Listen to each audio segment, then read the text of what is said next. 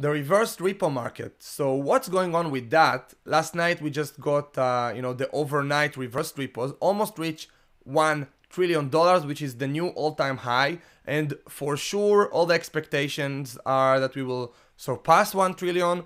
Uh, I even see, saw on Zero Hedge that uh, uh, I think it was Zoltan was expecting that we will reach 1.5 trillion uh, uh, by next Wednesday or Thursday, and we will even reach 2 trillion in the next couple of weeks. 2 trillion in you know overnight reverse repos. So I want to talk about that in today's video. I also want to connect it to what's going on, uh, you know, with the banks, with inflation. How is that uh, similar to what was going on in 2008? and uh, just give you my thoughts about the matter. You know, I, I made my previous video about the reverse repo market. A lot of people liked it. I got a lot of uh, questions. Some I answered, some I'm going to answer in today's video. So uh, let's dive right in and uh, see some articles. First of all, let's take a look on this chart of the reverse repos and we can see, as we can see that they started on the 29 of March. And if you remember, from the last video I explained that on the 31 of March we had the SLR exemption expiring. What is the SLR exemption? It was an exemption that was given to the banks not to calculate treasuries into their SLR uh, ratio calculations.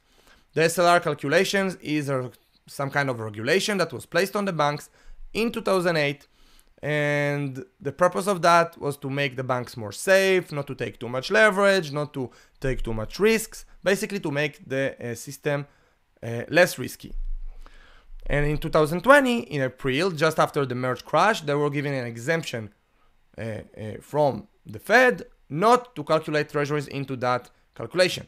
What that made, it made the bank, you know, buy more and more and more treasuries when they were looking for a place to put their cash especially short-term treasuries and that was also the short-term and medium-term treasuries that the treasury was selling uh, and you know now uh, so the seller the treasury was selling all of this debt they got all of this cash they were using this cash you know uh, to give all sorts of stimulus packages and help the economy and uh, uh, so that's where the treasuries were coming from but when the 31 when the exemption expired the banks had to get rid of those treasuries.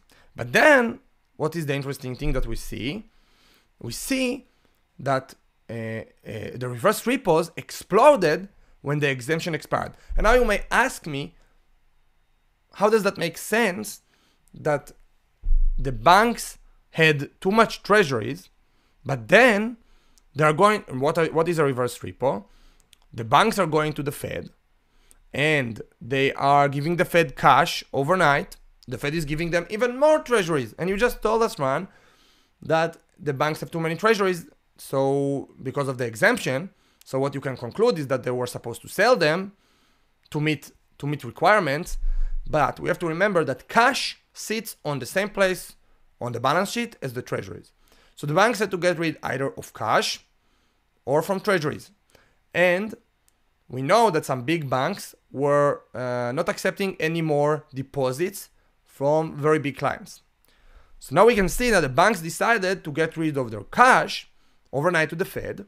And what I believe, what I understood from reading articles, from reading people like Rafi Farber and uh, you know Zoltan on Zero Hedge, is that uh, these uh, overnight treasuries are not the, the banks don't have to calculate them into their SLR calculation because it's only overnight. And because they don't hold the cash, they also don't have to calculate the cash.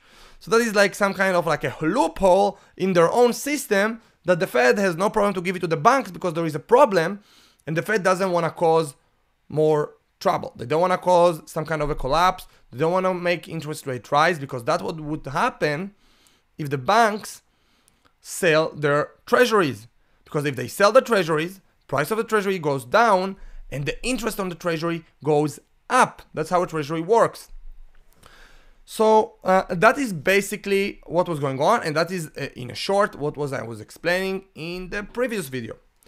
So uh, some guys asked me, Ran, why do you think? I mean, we understand uh, what what you it's very good what you understand with uh, what you explain with the reverse repos, But why is that a bad thing?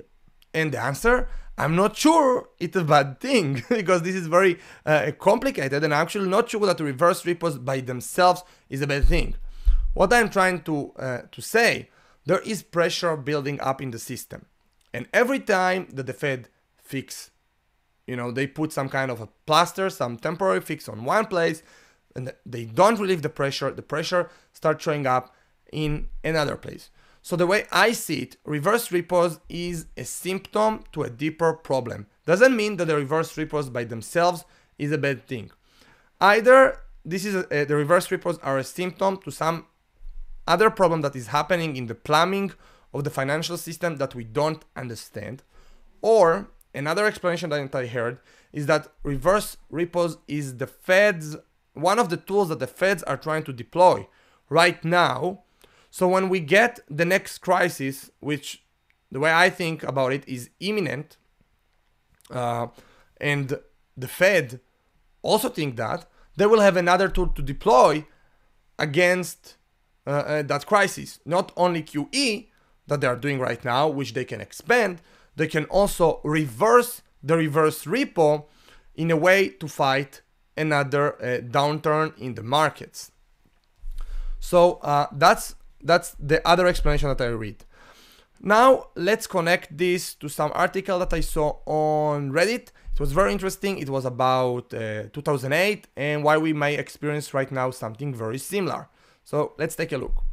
So just to understand 2008 really, really quickly, let's talk about CDOs and CDSs. This is two types of derivatives and just try to understand that, okay? So what is a CDO? Basically, you know, the banks were selling loans, mortgages to home buyers, uh, and then these banks were selling those uh, those mortgages to investment banks. Investment banks were buying a bunch of these mortgages.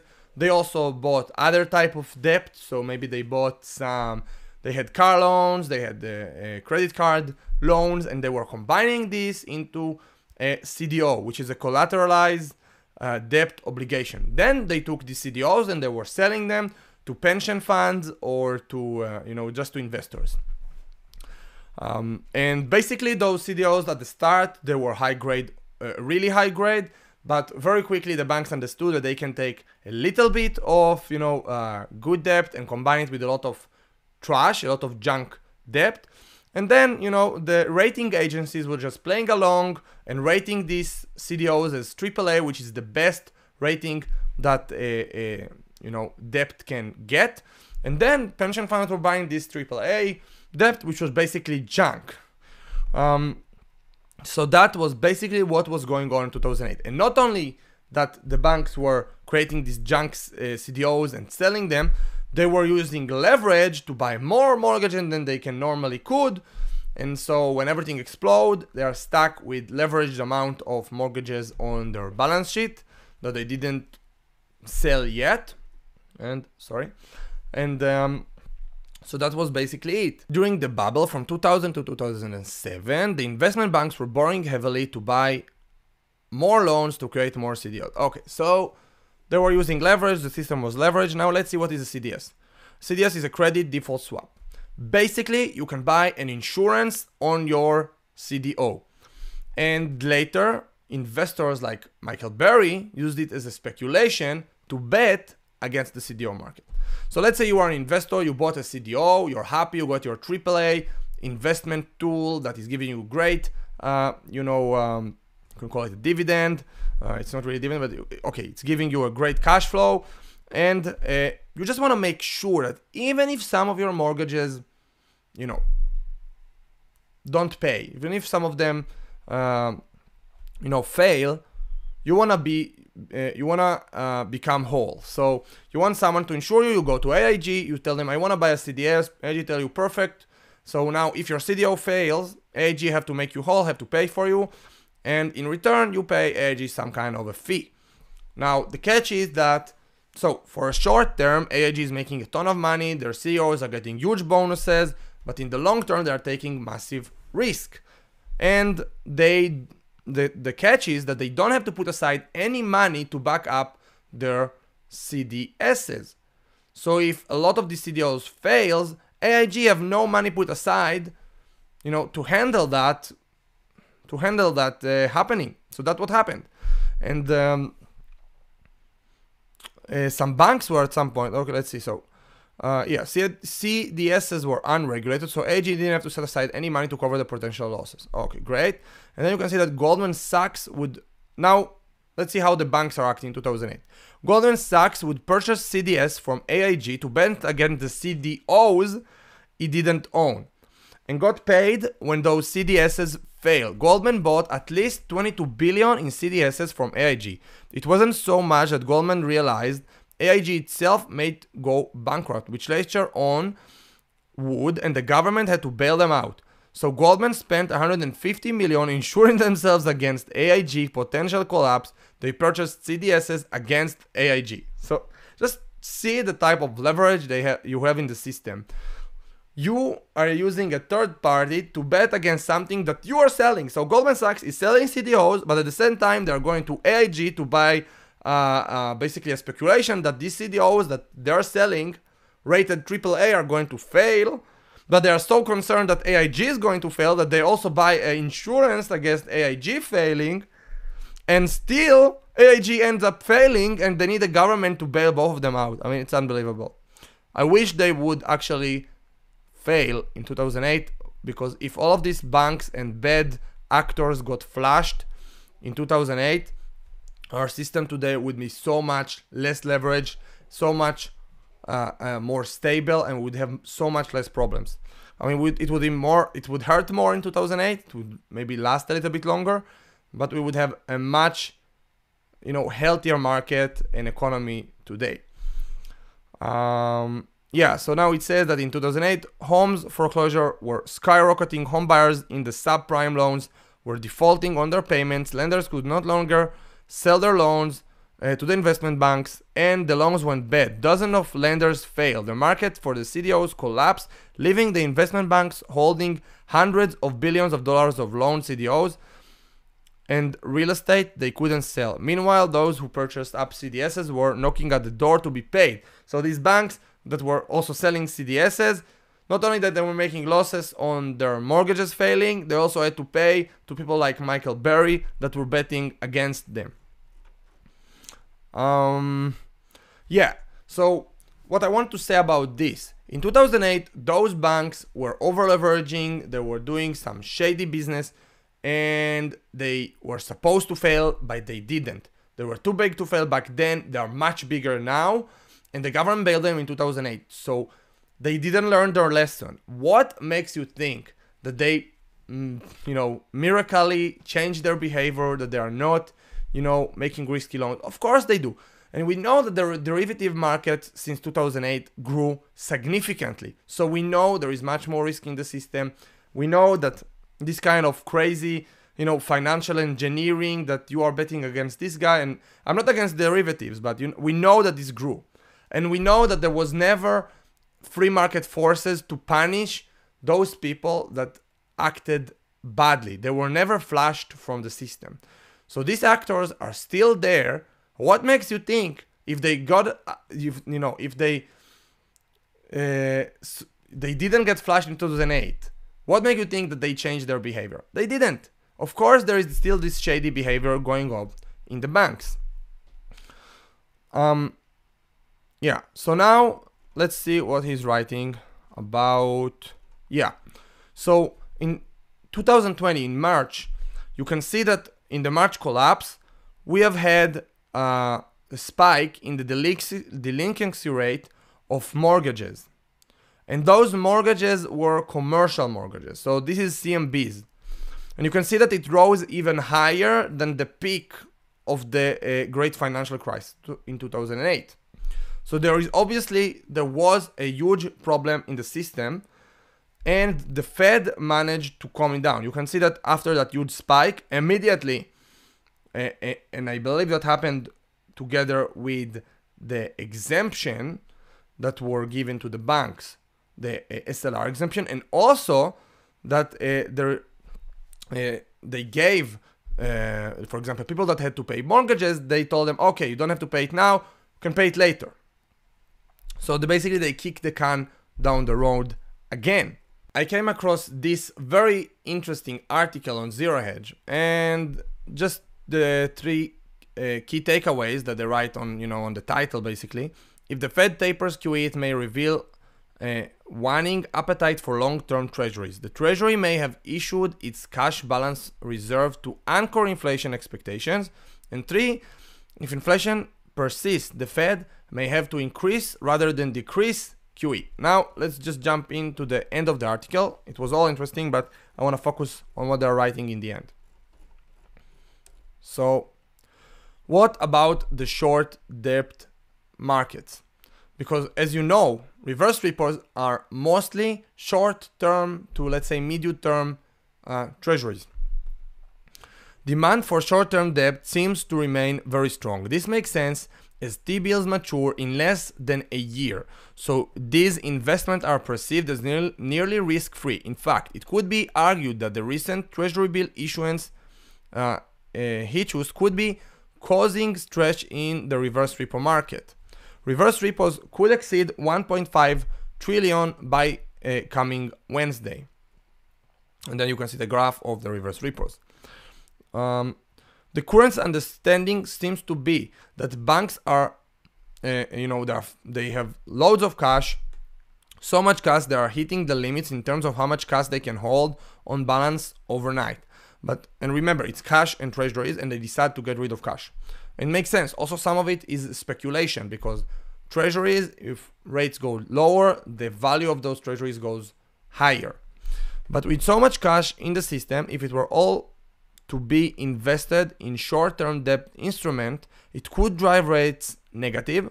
To avoid negative rates, the Fed is lending banks assets on its balance the Fed is lending banks assets on its balance sheet overnight in exchange for cash. So the Fed is getting more cash overnight and the banks are getting those uh, short-term uh, treasuries and by the next day they uh, they give the uh, they give the banks back the cash and the banks give the Fed back the treasuries. Treasury has been drawing down its cash balance and letting short-term debt mature when there seems to be a strong demand in the market question mark the treasury must recognize the risk of having too much debt in the short-term instruments and is trying to lengthen the duration of its debt unfortunately this abundance of cash in the repo market is in search for low risk short term debt. So it will not provide demand for long term debt. Uh, so, you know, the treasury want to issue more long term debt. Why? Because long term debt protect them from rising rates. If you take a mortgage for 30 years, then you don't have, you know, in a fixed rate mortgage, you don't have to worry about rates rising.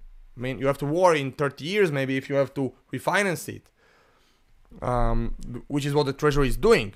They are selling debt, and then when the debt mature, they take new debt, they pay the old debt, and that's how it's going. So if they take, uh, let's say, if they sell one year or two year um, debt in one or two years, if rates are higher, they have now to, let's say, rates today are close to zero. If in two years rates are 10%, suddenly they have to refinance all of their debt in 10% in only two years. But if they have a 30 year debt, then they don't have to worry about it for 30 years. That's why the treasury would rather sell more longer term debt. But the market is telling it, no, no, no, we want zero risk and we consider zero risk short term debt. For example, one year or two years. And that's the problem. That's why the that's what the article says. That's the, one of the reasons why the reverse repo market is exploding because the there is high uh, there is a search for short-term debt and a lot of cash. To reiterate, this is why it is imperative the market believes inflation is transitory. If the treasury cannot stop issuing debt, um, sorry, not if. Debt treasury cannot stop issuing debt because they have to repay the old debt, like I told you, with new debt, which leaves the Fed unable to raise rates or type or taper QE without wreaking havoc in the bond market. Additionally, if the Fed has to fight inflation, then it's not just the treasury facing its uh, you know willy coyote moment, but the entire US economy. Wrapping up, the Fed, the treasury will have to begin reissuing debt again. Will it lean towards short-term debt, hoping the Fed keeps interest rates low, or long-term debt, hoping the Fed will expand QE? And then write like that. Unfortunately, long-term rates will not be attainable over the medium term, as the government has to finance more and more debt, as the market this year has indicated when issuing surpassed the Fed's buying, rates have gone up. Basically, very in simple words, if the government want to issue debt and the Fed is not going to buy it, they're going to have to pay higher rates. So if they want to pay lower rates, the Fed will have to buy more of the debt because the, the demand outside of the Fed is not there. We know that foreigners didn't increase their debt, US debt holdings. So basically, most of those uh, treasuries were bought by the Fed. Fed was monetizing the debt. Without the Fed, rates would be much higher. Um, is this mar? Yeah. Uh, uh, so what happens to rates when the Fed leaves the market entirely? Presumably go up a lot. High. Uh, how high will the Fed let rate go up before re-entering? The Fed can't let. That's now I'm saying you the answer. The Fed can't let rates go higher. Even I think even a half percent rise might crash completely the markets and the dollar is linked to the market. Everything is now connected. The dollar, the stock market and the bond market and one of these failing will collapse the other two. Just because something is inevitable, US debt spiral does not make it imminent. However, the next six months of data may shine a bright light on all the responsibility over the last uh, 12 years if inflation proves not uh, uh, so transitory. Yes, we have to remember that all of this is uh, inevitable, but we don't know if it's gonna happen, you know, right now. I don't know if it's gonna happen tomorrow. It might happen tomorrow. It might not. But there will be a day when this happens tomorrow. You know, the day before something breaks and obviously it's not gonna be so uh, you know it's gonna it's not gonna be so easy to notice that. If it was to notice that then everyone would notice it before and it would happen before. So there will be a day when it's the day before something breaks. And we just don't, don't know where it's gonna happen. I mean we did have the last 12 years in 2008 and you know people have been calling for a, a currency crisis and it didn't happen can it take another 12 years? I doubt it. I think we are really close to, to something breaking in the system because everything that we said is going on, because the depth expansion that is going parabolic. So uh, that's what I believe. Uh, now I know, guys, I wish I could explain more, you know, in depth about the reverse repo market, but honestly, that's the is deep as my understanding goes. Um, if you want to understand more than that, I would maybe follow someone like uh, Jeff Snyder. And uh, yeah, it's really, really complex. I think there is not so many people that understand it. But what I try to do usually is I take a step backwards and then maybe another step backwards and I try to look on the entire picture. And the way that the entire picture looks to me is that there is stress building up in many different places in the plumbing of uh, the economy, of the monetary system. And the Fed is constantly trying to patch these stress spots. And I think, like I said, reverse repo is a symptom. Is the bad thing? Not necessarily. Not necessarily that by itself is a bad thing, but it can be a symptom of something bad that is happening. So we have to watch the repo market and the reverse repo market closely, and that can give us an indication before something major happens. Do I think we're approaching some kind of a collapse? I don't know. I don't even know. Are we going to see a stock market crash? Because I'm not sure if we are going to have this massive, you know, deflationary uh, collapse of the stock market and uh, uh, you know, like the deflationists are calling, and then overreaction of the Fed to hyperinflation, or are we just gonna see something like a hyperinflation happens directly? So the stock market will never crash nominally. So in nominal uh, terms or in dollar terms, the stock market would go up, but in gold terms, in real terms, it will go down. And between these two options, I just don't know what is going to happen. I believe what we are seeing today is very similar to what was happening in France. And you can see people like Dan Oliver and Alasdair Macleod talking about it. The Mississippi Bubble. In the Mississippi Bubble, the stock market was connected, or basically this one stock, this Mississippi company, was connected to the currency. And the bank was printing money, printing livras, and pumping the price of the stock. And everyone in the country got involved in stocks, in this particular stock. Everyone was buying it. Everyone was thinking they're becoming millionaires. Everyone was making a lot of money. And once, you know, it broke, once people wanted to get out of the stock, would they make a lot of profits, they thought it's overvalued. So once the price of that stock broke and they started getting livras and they said, okay, I got my livra, but I want my gold because livras were backed by gold. That's when the livra crashed. So the stock of the Mississippi company fell from 12,000 li- 12, livras to around like 4,000, something like that. But then the livra collapsed so quickly that the stock uh, price didn't fall anymore. I think it even rose a little bit because the currency was crashing so fast that doesn't matter that the, the, the stock is falling in real terms, in nominal terms, it was rising.